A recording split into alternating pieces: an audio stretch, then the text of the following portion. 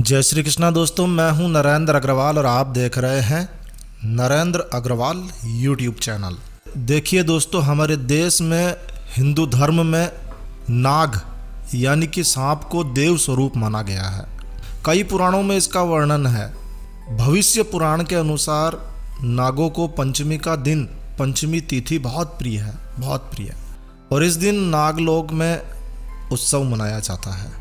नागलोक की देवी है मनसा देवी। मनसा देवी के बारे में अभी इसी वीडियो में हम आगे बात करेंगे।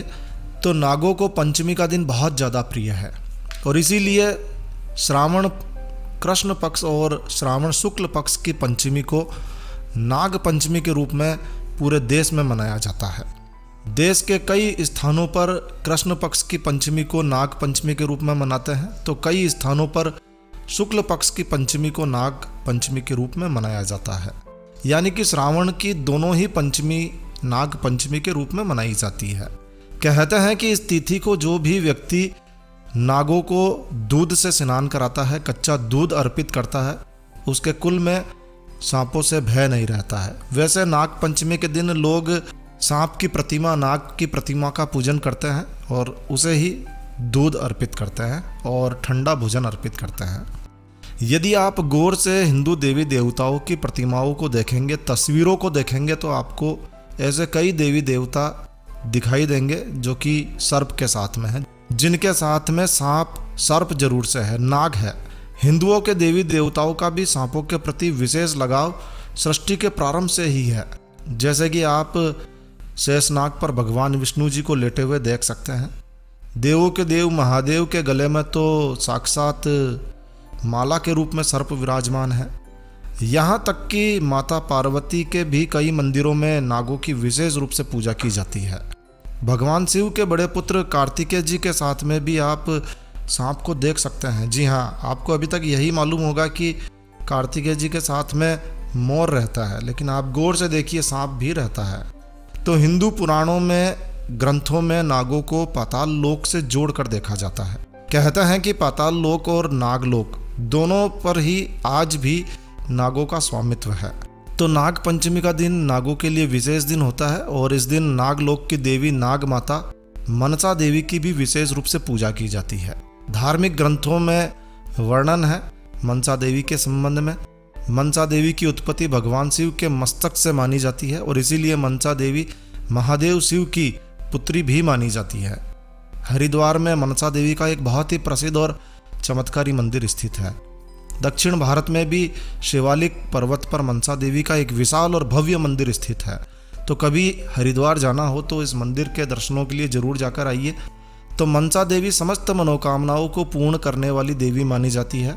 मनसा देवी नागलोक के राजा नागराज वासुकी की बहन भी मानी जाती है। और ये बहुत ही प्राचीन मान्यता है कि नाग पंचमी के दिन मनसा देवी की पूर्ण श्रद्धा भाव से पूजा, आराधना करने से जीवन के सभी कष्ट दूर हो जाते हैं और भक्तों की समस्त मनोकामनाएँ पूरी होती है।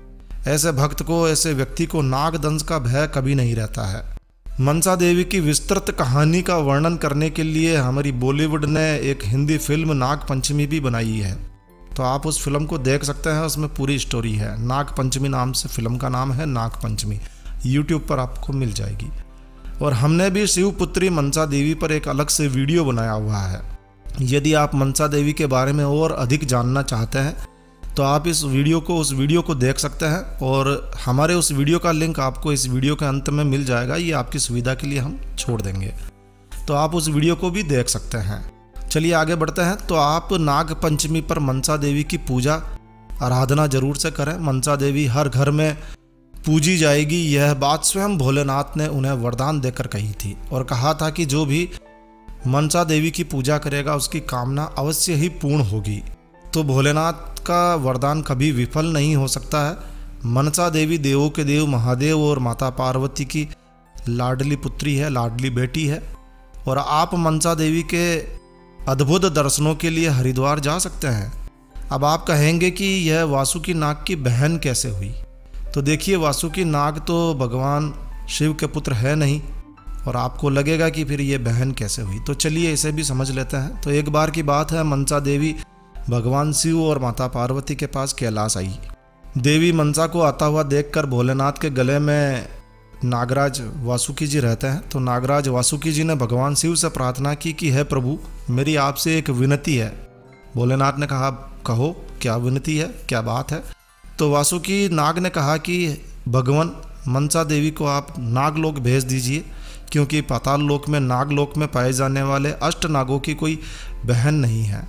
तब भगवान शिव ने अपने भक्त वासुकी की बात का मान रखते हुए उन्हें मनसा देवी को नागलोक का साम्राज्य प्रदान किया और उन्हें उनकी बहन बनाया। और इस तरह से मनसा देवी संपूर्ण नाग जाति की बहन बन गई और नाग माता के रूप में पूजे जाने लगी।